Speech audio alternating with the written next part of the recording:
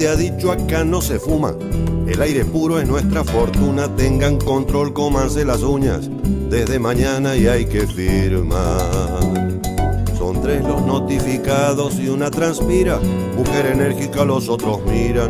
Los ceniceros llenos de un día, pobre María no va a aguantar. Y vuelve a su casa tensa y un tic nervioso. Llega el marido, le guiña un ojo, no lo saluda, todo es enojo. No ha cocinado y no quiere hablar. Y luego de dos pastillas comienza el sueño, vuela y las nubes son de humo eterno, Dios fuma en pipa y le pide fuego, mientras succiona la inmensidad. El humo del sueño sigue y se vuelve nena, vuelan cigüeñas, nacen estrellas rubias con filtro para jugar. Cielo se compadece y le da un hermano, un ángel negro con un toscano que el ser humano quiere apagar.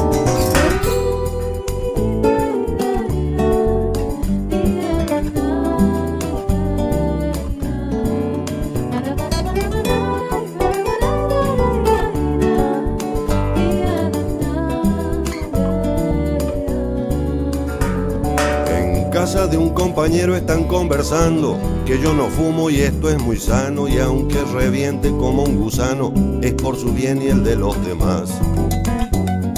María sigue soñando, se fuma el mundo, patea ronca y en un segundo da un alarido, un no rotundo y ese marido no aguanta más.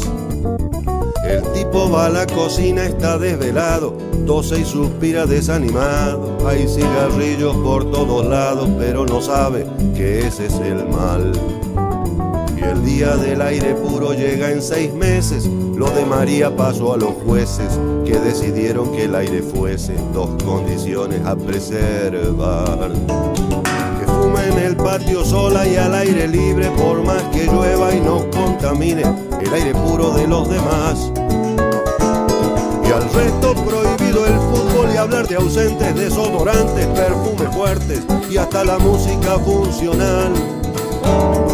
Que en esto del aire puro vamos de acuerdo, pero en cuestión de infringir tormentos siempre más puro considerar. María casi se asfixia de un día al otro y cuando vean domar a un potro, miren del lado del animal.